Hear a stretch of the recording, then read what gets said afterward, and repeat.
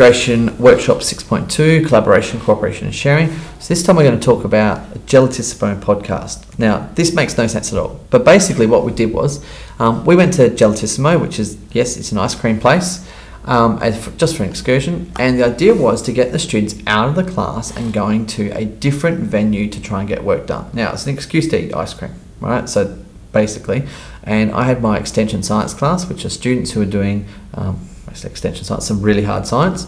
Um, and I want them to go into a place where they couldn't just rely on their textbooks and everything. Now, we have Wi Fi everywhere in Adelaide now, so this is a bit easier, but they had to go and um, answer questions without any um, access to knowledge. While they were there, they had to produce a podcast so therefore, they needed a good rubric of what they needed to do. And researching was very difficult. They could ask questions of each other. Um, some of them jumped on their phones and used um, the internet. Um, some uh, some of them would actually look at where they are and use the information there.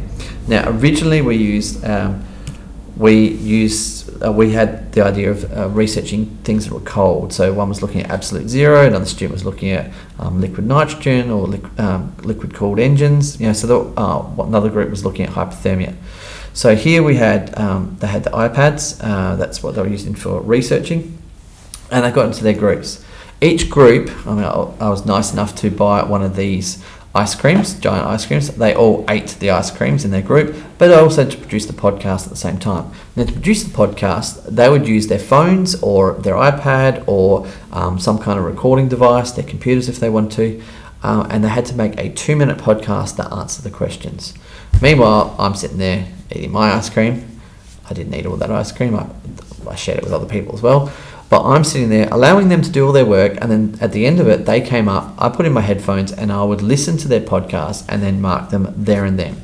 Now, I understand that this it seems kind of pointless. However, when we actually look at it, I'm just going to switch out.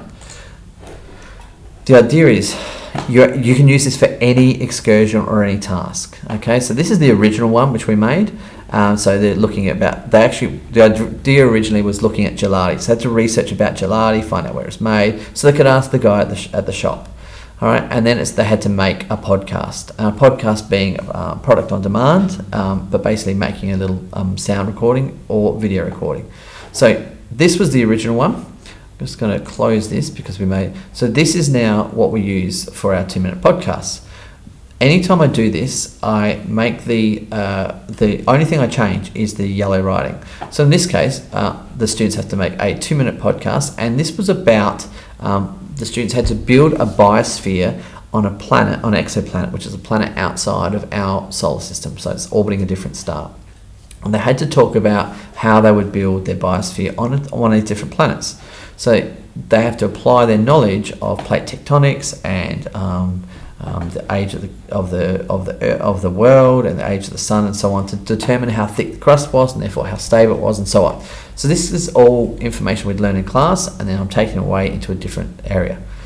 Here is the way that we assessed it. So here, all I would do when I finished is they'd hand me back their two-minute podcast. I'd put my headphones on, and I would then just highlight, just tick the things they've done. So here I'm looking at research. Have they researched everything? Is it a high standard? When they're presenting, does it does the uh, vodcast or podcast flow really well? Um, was it the right length? Because it had to be two minutes, plus or minus 10 seconds. Once they went out of that plus or minus 10 seconds, they'd go into the next category. Was the content all relevant, or were they getting off task? And was it clear? Was there uh, like was it clear with with um, no stoppage, easy to understand um, for the voice, easy to understand, and it just flowed really well. And then the other part was um, was when they're working in the group, did they work well together, or and did they disrupt other people? And in this case, was all the ice cream consumed? Now, to give you a different example of this, here is a biology podcast where they could do this in the class or wherever they're going.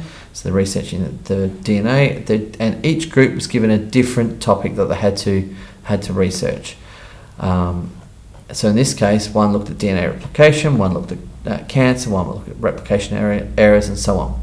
Um, and so this is how we then ass- assess the students. Now, so it, because it only goes for two minutes, your marking only takes two minutes. Now, if instead of going to Gelatissimo, say you're going to the town hall, I normally have in here as well um, that they have to include a quote So it means that all your students, while you're doing this, are sitting there listening intently to the person giving the tour um, because they want to get that quote. So it appears that your students are interested in what they're doing. They may not be, but giving the appearance is, is kind of important. So the beauty about this is the students are working together, they're collaborating together to produce a very short product that demonstrates their knowledge and understanding of the topic that's covered.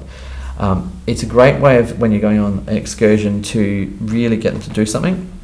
Most people design worksheets, like if you go to the zoo, they'll design a worksheet or a booklet that you've got to work through, and so the students just ticking and answering questions. Problem is, then you, you have to go through and mark those things. If you instead say, right, you have to you have to choose one of these animals and you have to do a, podcast about these animals. So let them go around, let them do their research, and then you let them sit down. So when they're having their break or their lunch, they sit down. That, that's when they can have their time to record. Before they leave or on the, on the trip back to your school, you put your headphones in, you listen to the group to the group's podcast. By the time you're back at school, everything's marked and you're finished. You're not marking lots of booklets. So that's a great method of um, really analysing how students are going um, with their.